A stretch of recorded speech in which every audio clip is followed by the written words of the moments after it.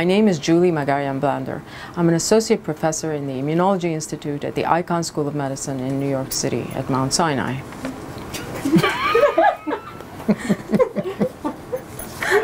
Why aren't you reading Just read it. Wait, I don't know where I work. Oh my God. Oh my God. Forget it. Let's cut myself out completely. I don't want to do this. It- it's not me. This is not your part. Okay. This is the part This you is the part, a memorize. particular type of T cell response that we so are focused everything on. else, just read it. Our story is really about how things come together at the right place at the right time in order to induce an efficient immune response against infection.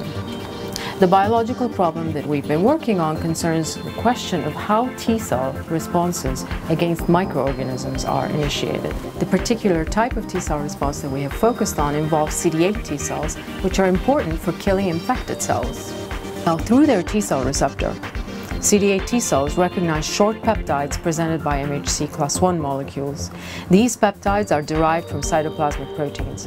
When cells are infected with an intracellular microorganism like a virus, their MHC class I molecules now present peptides derived from the virus. CD8 T cells specific to the microbial peptides can then identify those infected cells and kill them.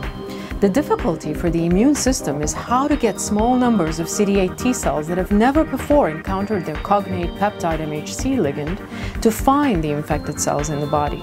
To solve that problem, the immune system makes use of specialized cells called dendritic cells, which chew up infected cells and then migrate to the lymph nodes where T cells are concentrated. There, T cells recognize their cognate peptide presented by such dendritic cells and get activated, divide, and expand in number. The T cells then migrate out of the lymph node. Because their numbers have greatly increased, the chances that those specific CD8 T cells will find the infected cells and kill them are now much improved. The system requires that dendritic cells acquire the microbial proteins by phagocytosis of infected cells and present peptides derived from those proteins in their own MHC class I molecules. This means that they now have to present peptides that are not derived from proteins in their cytosol, the normal source of peptides for MHC class I, but rather acquired from an exogenous source and then presented.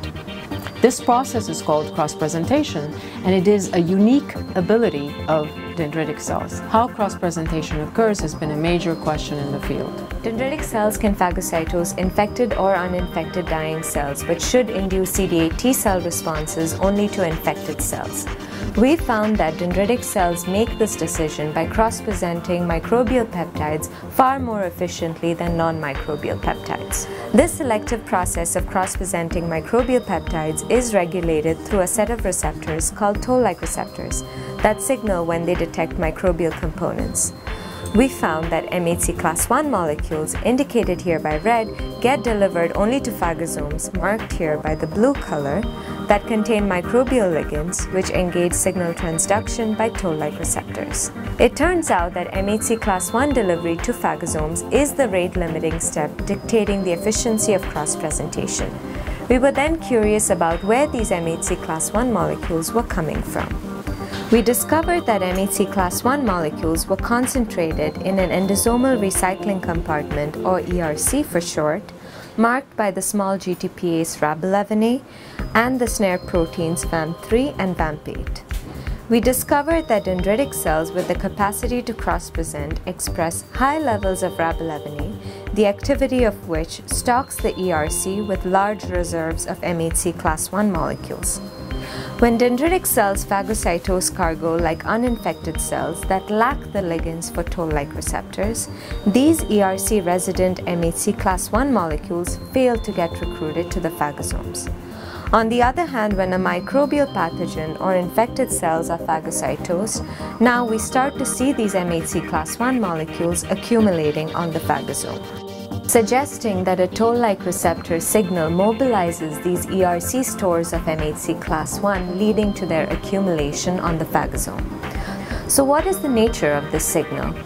Our data show that toll-like receptors phosphorylate a snare-associated protein called SNAP23 which resides on the cytosolic side of the phagosome. Upon phosphorylation, SNAP23 mediates the formation of stable snare complexes between the ERC and the phagosome.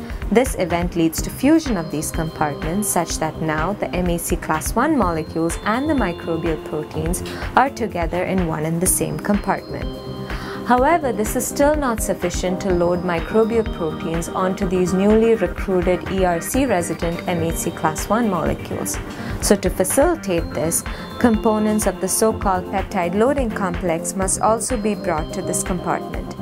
These were already known to come from yet a different compartment called the ER-Golgi intermediate compartment or the ERGIC and we found that this step can occur independently of toll-like receptor signaling and helps in the final step of loading microbial peptides onto MHC class 1 molecules. So by bringing all these components together from different sources, the phagosome now turns into a compartment that is licensed to specifically and efficiently load microbial peptides onto MHC class 1 molecules and use those peptides to activate CD8 T cells. Why are these data significant? Because they reveal how an intricate network of communication among organelles can shape the immune response and do this at the subcellular level. Now, by learning the trade secrets of dendritic cells, we can use this information to design better strategies for inducing immunity to viruses, bacteria, and cancer cells.